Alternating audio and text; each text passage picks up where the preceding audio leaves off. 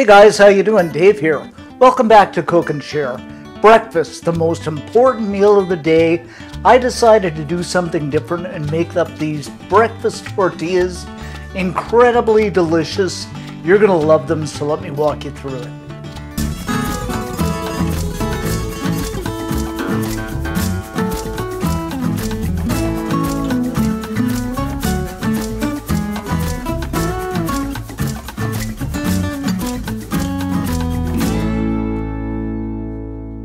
So the first thing I'm going to do is add some salt and some pepper. So I'm just going to go ahead and beat this up.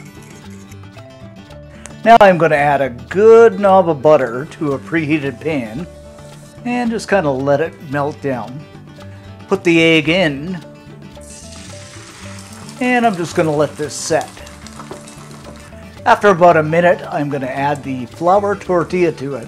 You don't want a big tortilla, just a medium-sized one. And I'm going to give this a flip over. Add some cheese onto the center.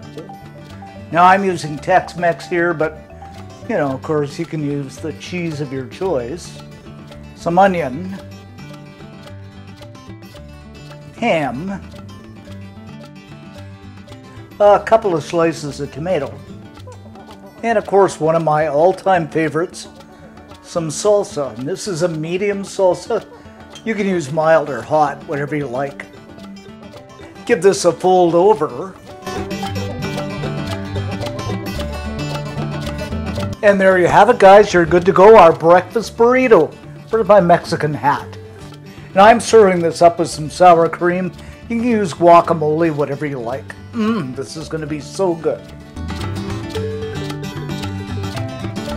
Okay, let's go ahead and do a taste test.